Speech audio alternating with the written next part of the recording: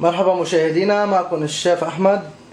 وصفتنا اليوم اللي هي كيف نعمل chicken burger أي برجر الدجاج دائرات برجر الدجاج اللذيذة واللي كل العالم بتحبها. اليوم رح أعملكم إياها وأعلمكم كيف طريقتها. طريقة بسيطة وسهلة ولذيذة جدا.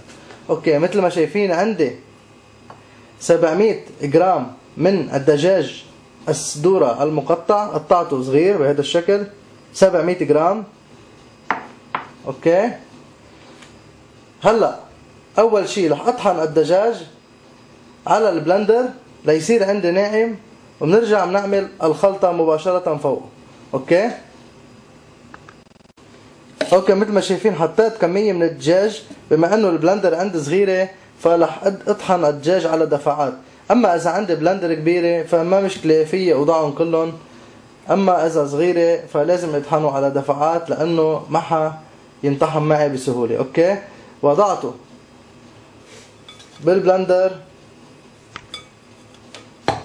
وعندي أيضا مقدار معلقتين كبار من الزيت النباتي. رح أوضعه على دفعات عند الطحن. أما إذا عم بطحن كل الكمية على blender كبير بوضعه مرة واحدة لازم أحط الزيت النباتي لأنه صدر الدجاج طبيعته ناشف فأنا بالمكونات الموجودة عندي بحاول أخليه رطب قليلا بعد الطهو. okay؟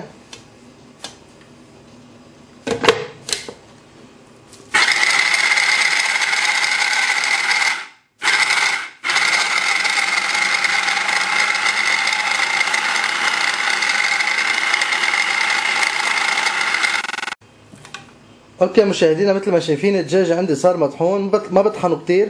أكيد بدي اطحنه لينعم ولكن ما بطحنه لحتى يصير عندي مثل آه، عجينة متماسكة جدا. لحتى لي لما اطبخه واعمله يضل في عندي عم حس بالدجاج ما احس إنه عجينة وشاويها. okay رح أطحن الكمية الباقية وننتقل للخلطه okay مشاهدينا مثل ما شايفين طحنت الدجاج وصار عندي جاهز. هلأ رح اضيف المكونات. فوقه رح تشوفوها معي. okay اذا عندي الدجاج جاهز. رح اضيف عليه معلقة كبيرة من صلصة الصويا. okay؟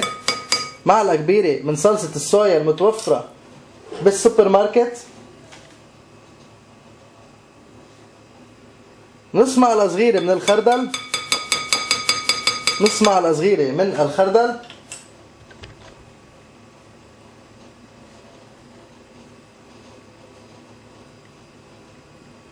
نص معلقة صغيرة من البابريكا. عفوا آه، نص معلقة كبيرة من الخردل. أوكي؟ نص معلقة كبيرة من الخردل ونص معلقة صغيرة من البابريكا. وعندي معلقة صغيرة من الكزبرة اليابسة فيها تكون مطحونة وفيها تكون حب okay؟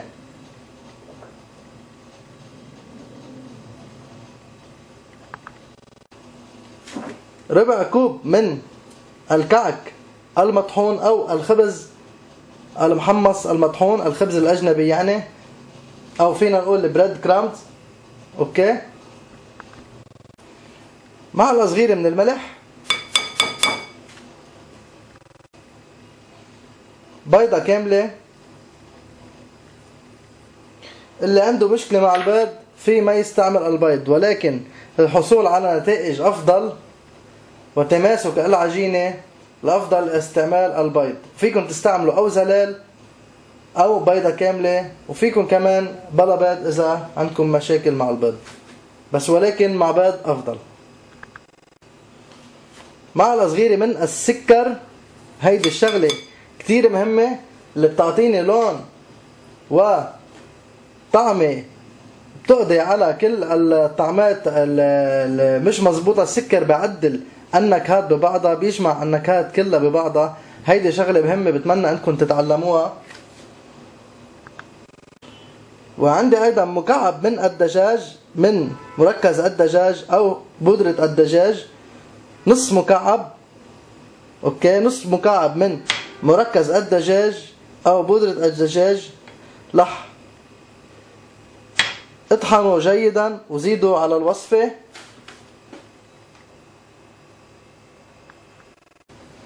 وعندي أيضا أربع حصص توم دقيتهم مع الملح. دقيتهم جيدا بدي إياهم يصيروا هيك. ناعمين جدا حتى ما يظهروا عندي كتير. عند الأكل. أما بالنسبة لمركز الدجاج أو بودرة الدجاج أنا طحنته باليد حتى يصير في يصير عندي جاهز. رح وزعه. وبعند الخلط بدي أتأكد إنه هيدي لم تبقى في مكان واحد لأنه طعمتها رح تكون قوية فبدي أدعك العجينة بشكل جيد لحتى تتوزع هيدي على جميع الوصفة. ما بزيد عليها مي لأنه ما بدي الدجاج يطلع رخو. أنا في دوبها بالماء مسبقا بس ما بدي الدجاج يطلع رخو لاستعمال الماء ففقط اكتفيت بهيدي المقادير. هلأ رح أدعك العجينه بشكل جيد. أوكي مشاهدينا مثل ما شايفين في أدعك باليد وفي أدعك بملعقة تكون قوية أو ملعقة خشبية.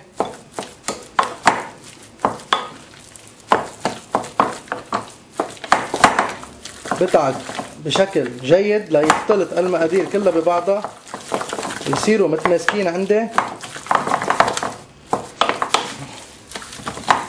في إعجن الخليط على العجانة بستعمل المنجل. okay.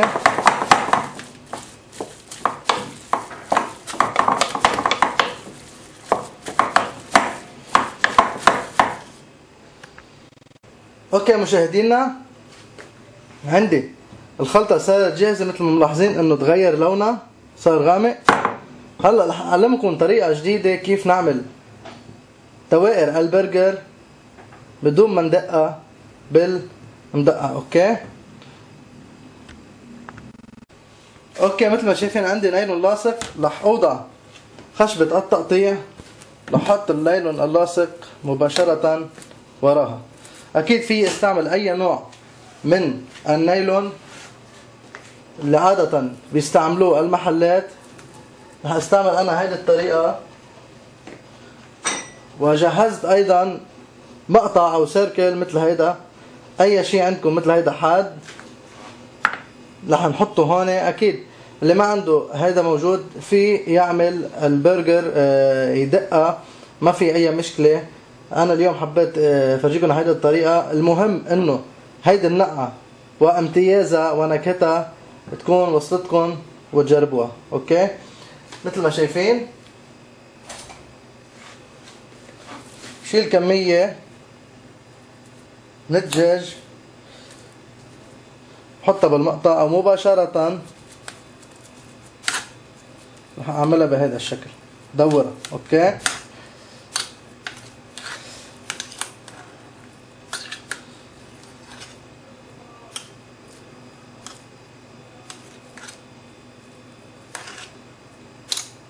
okay.